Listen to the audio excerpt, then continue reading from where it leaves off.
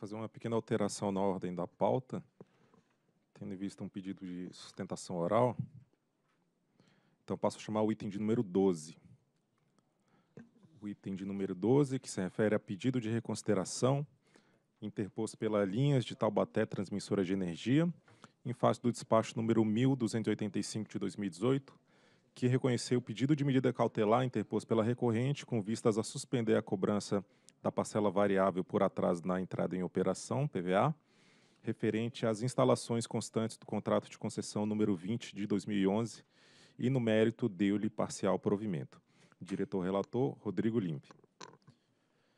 Em 9 de novembro de 2011, foi assinado o contrato de concessão de transmissão número 20 de 2011 entre a União e a linha de Taubaté Transmissora de Energia, tendo por objeto a construção, operação e manutenção das instalações de transmissão caracterizadas no anexo 6J do edital do leilão 04-2011, as quais deveriam entrar em operação comercial na data limite de 9 de fevereiro de 2014.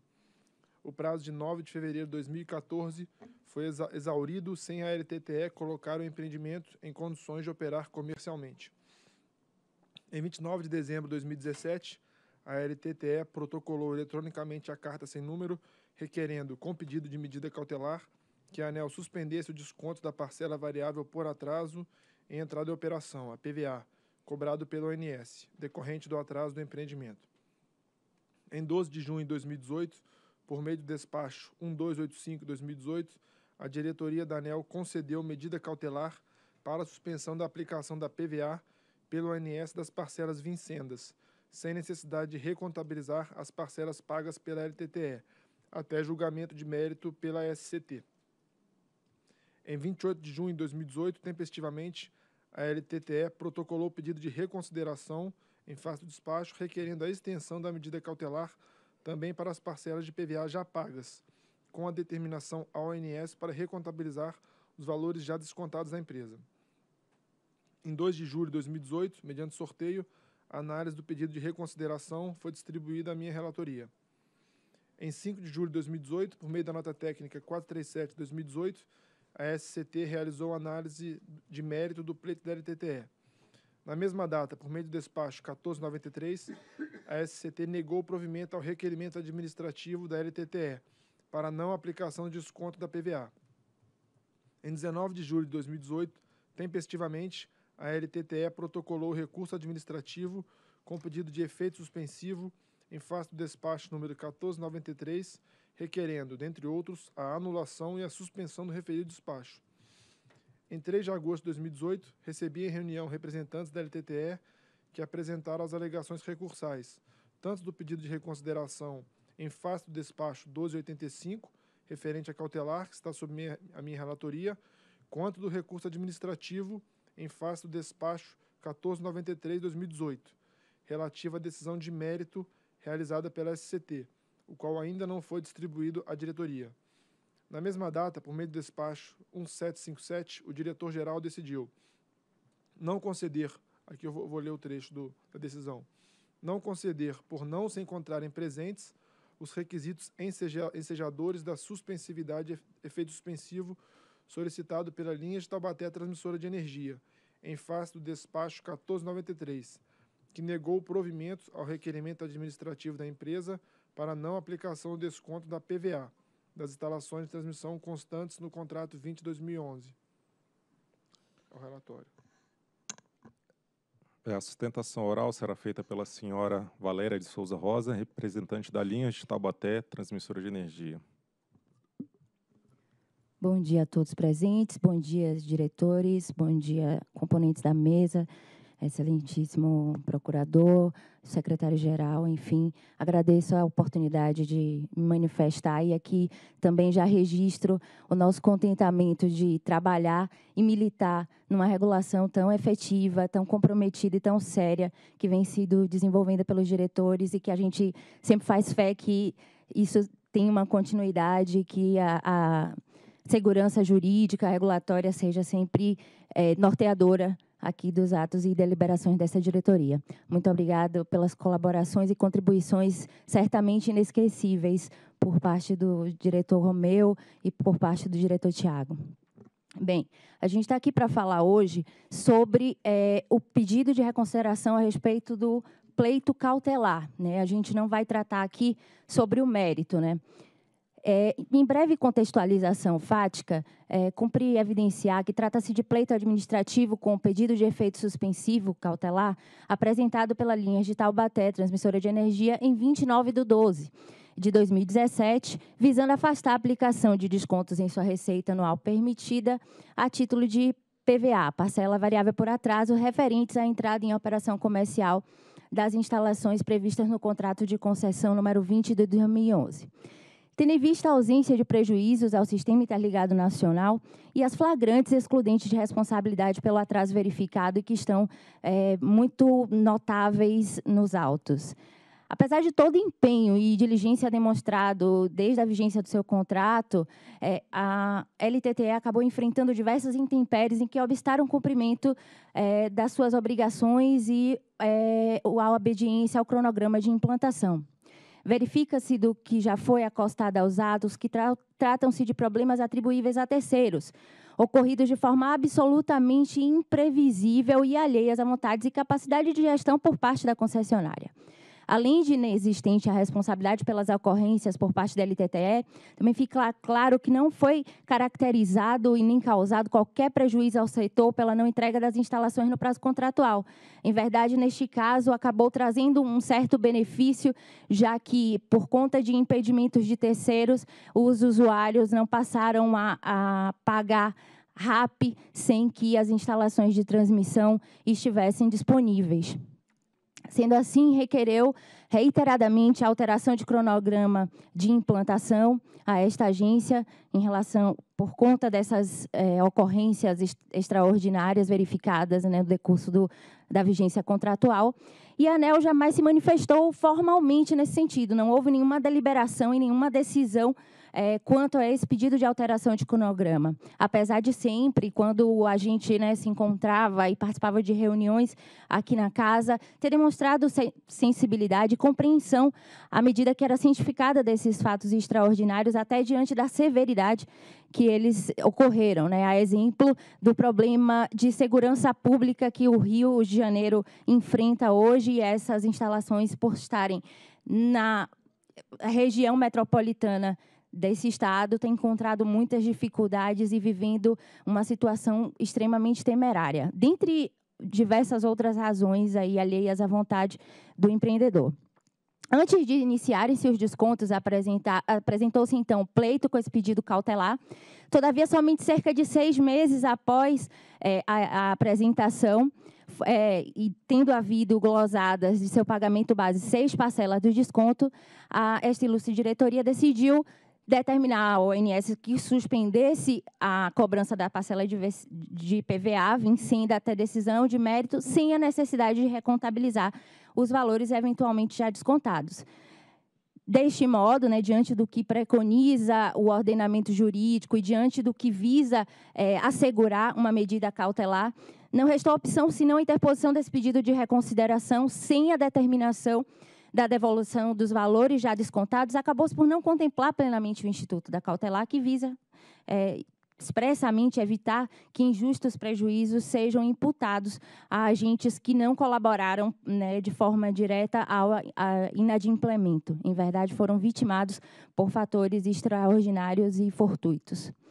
Embora a ANEL tenha é, concedido parcialmente a tutela buscada, fez necessária essa, a reconsideração da decisão prolatada, a fim de que seja determinado que o INS realize a recontabilização desses valores já descontados, vez que presentes os requisitos para tanto, conforme até consignado em parecer é, emitido pela Procuradoria Especializada da ANEL.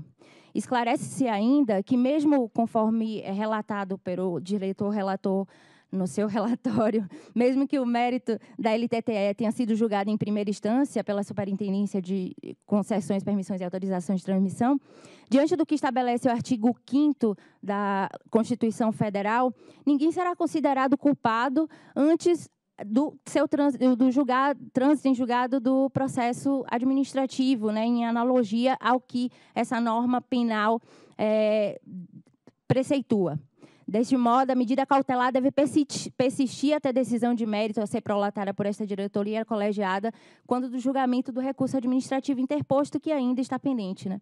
Ainda que tal princípio tenha aplicação iminentemente penal, como eu disse, ele deve ser interpretado analogicamente, sempre que estivermos falando de aplicação de um gravame ao administrado, ainda mais né, quando se trata de uma PVA que acaba né, diminuindo a, a, receita justamente no momento em que a, o concessionário inicia suas atividades operativas, portanto, carece de mais recursos para conseguir dar cabo das suas obrigações. Diante disso, a gente apresenta aqui um precedente análogo a, a este caso, onde decidiu-se por afastar a aplicação de PVA até julgamento do recurso administrativo interposto. Eu vou aqui, peço licença para ler um trecho, foi o despacho número 1115 de 4 de maio de 2016, onde restou decidido que resolveu conceder efeito suspensivo ao pedido interposto pela Brilhante Transmissora de Energia SA para determinar ao ONS que se abstenha de realizar descontos sobre as parcelas mensais da receita anual permitida da requerente referente à aplicação de PVA decorrente de atraso na não entrada em operação comercial dos empreendimentos concedido à BTE, mediante o contrato de concessão número 008 de 2009, até decisão final sobre o recurso administrativo administrativo por ela interposto. E é justamente isso que a gente quer, roga que seja também aplicada de forma isonômica é, esse tratamento dispensado anteriormente a outro agente que vivenciou caso análogo.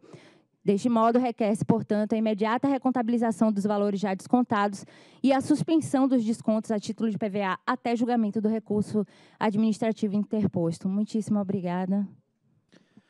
Obrigado aí pelas contribuições e pelas suas referências à instituição ANEL e a mim, certamente ao diretor Tiago. Procuradoria. Bem, é, esse é um tema que está sendo discutido nesse processo que tem um rebatimento muito relevante na atuação da Procuradoria em âmbito judicial, né? Que esse tema de desconto de PVA é um tema bastante sensível que a Procuradoria enfrenta é, dioturnamente né, a, ações judiciais que, que pleiteiam que antes do, do desconto que haja a oportunidade do exercício do contraditório e ampla defesa. Pois bem, nesse caso concreto aqui, a Procuradoria ela se manifestou é, antes da primeira decisão da diretoria, por meio desse parecer 203 de 2018. E que o que ficou consignado nesse parecer 203 foi que, apesar da PVA não constituir uma penalidade, que a Procuradoria, né, nesse, nesse, nesse, opinativo, entendeu que o fato de não ser penalidade não significa que também o contraditório e ampla defesa tem que ser exercidos antes do efetivo desconto da PVA. Então, é, até antes de uma análise de mérito, considerou que a questão do devido processo ela é anterior à própria questão do mérito, saber se há ou não há excludente de responsabilidade. Por isso, naquele caso, né, a Procuradoria, uh, nesse caso aqui específico, entendeu que, estando presente um, uma probabilidade do direito e o período da demora, tendo fase do desconto, que estavam presentes os requisitos. A questão é que a, a diretoria, é, ao julgar pela primeira vez esse processo, entendeu que as, as parcelas que já haviam sido pagas não necessariamente é, é, deveriam ser recontabilizados. O problema é que ainda persiste. É que, é, como a gente. Esse entendimento aqui da, da Procuradoria, eu acho que ele vai muito na linha de vamos tentar buscar reduzir judicialização. Então, talvez, se a questão a gente conseguir resol resolver administrativamente a questão do contraditório ampla defesa, nós retiramos esse, esse argumento que está sendo levado para o judiciário e muitas vezes nós estamos perdendo com, em relação a isso. Então, assim, se nós formos adotar os mesmos fundamentos do parecer 203, que não foi dado para o pedido de reconsideração, né, mas foi dado para a primeira decisão da, da diretoria, a tendência era considerar que, olha, é, como não foi dado contraditório ampla defesa, que esse desconto só, de, só deveria é, ocorrer efetivamente depois do contraditório ampla defesa. Então, os mesmos fundamentos deveriam, nesse caso, é, sugerir o provimento do recurso. Mas a diretoria, a gente tem que reconhecer, ela já, inclusive já analisando o mérito, talvez até por uma questão assim de no mérito já entender que não tem razão, pelo menos numa primeira decisão, talvez ela hoje tenha mais dificuldade de considerar a, a questão da concessão da cautelar. Então, assim, é, pela posição da Procuradoria em relação ao parecer anterior, deveria, a, a posição deveria ser mantida para a concessão da medida cautelar. Mas, claro que fica ao critério da diretoria avaliar se o requisito, tendo em face, em face desse, dessa decisão de mérito, pelo menos em primeira instância, que tira um pouco dessa probabilidade do direito de não conceder a cautelar. Trata-se de análise do pedido de reconsideração em face do despacho 1285-2018, ato por meio do qual foi publicada a decisão da diretoria sobre o pedido de medida cautelar apresentado pela LTTE, determinando a suspensão cautelar da cobrança da parcela variável por atraso na entrada em operação, a PVA, referente às instalações constantes do contrato 20-2011, até a decisão de mérito da questão. A recorrente alega que havia protocolado o pedido de medida cautelar em 29 de dezembro de 2017, antes mesmo de sofrer efetivamente os descontos a título de PVA. Porém, o seu pedido foi apreciado pela diretoria somente em 12 de junho de 2018, decorridos mais de seis meses da apresentação. Com isso, a LTTE teve glosadas de sua receita seis parcelas do desconto da PVA, antes que houvesse a suspensão cautelar dos pagamentos. Nesse sentido, a LTTE defendeu que a tutela cautelar provisória visava garantir o resultado útil do processo, que no presente caso correspondia à não realização do desconto e ou à devolução dos valores descontados antes do julgamento do mérito do pleito administrativo. Assim, embora a ANEL tenha concedido parcialmente a tutela buscada, a recorrente entende que seria necessário também determinar que o ONS realizasse a imediata recontabilização das parcelas de PVA que já haviam sido descontadas. Em análise do pleito, nota-se que a recorrente não apresenta fatos novos em relação aos que foram considerados pela diretoria na decisão tomada. Conforme voto do diretor relator do processo, nota-se que a diretoria tinha pleno conhecimento de que algumas parcelas já haviam sido descontadas antes da concessão da cautelar. Aí eu trago um trecho do, do voto. Julga-se ainda que, como a PVA é descontada em 18 parcelas mensais, não há necessidade de recontabilizar as parcelas pagas pela requerente, mas apenas suspender as vincendas. Portanto, já foi avaliada pela diretoria que o impacto referente às parcelas de PVA pagas não seriam causa suficiente para determinar uma recontabilização antecipada pelo INS. Ou seja, houve o entendimento de que havia perigo de demora em relação às referidas parcelas, cujo valor só precisaria ser devolvido à LTTE caso a empresa obtivesse deferimento quanto ao mérito do pedido. Acrescenta-se, conforme relatado, a decisão de mérito já foi tomada em primeira instância pela SCT, por meio do despacho 1493-2018, quem deferiu o pleito da LTTE. Assim, além da questão, além da avaliação de que não havia perigo de demora em relação às parcelas já descontadas, o próprio requisito de verossimilhança das alegações, utilizado para a suspensão cautelar das parcelas futuras, ficou prejudicado, ou seja, a fumaça do bom direito não estaria mais presente, que nem colocou o procurador. Isso se confirmou na análise do pedido de efeito suspensivo apresentado juntamente com o recurso administrativo contra o referido despacho. Ainda resta, no âmbito administrativo, a possibilidade de reversão da questão em favor da LTTE na análise de juízo de reconsideração pela SCT, e caso a superintendência não reconsidere sua posição, pela diretoria da agência. Contudo, nessas condições, não vejo razões para alterar a decisão da diretoria, devendo ser negado provimento ao pedido de reconsideração ora em análise. Diante do exposto do que consta do processo 48.500.000.155.2018.79, voto por conhecer e, no mérito, negar provimento ao pedido de reconsideração interposto pela linha de Taubaté Transmissora de Energia em face do despacho 1285-2018, cujo objeto foi a suspensão cautelar da cobrança da PVA, referente às instalações constantes do contrato de concessão 20-2011. É o voto. Em discussão. Em votação. Eu voto com o relator. Acompanho o relator. Eu voto com o relator.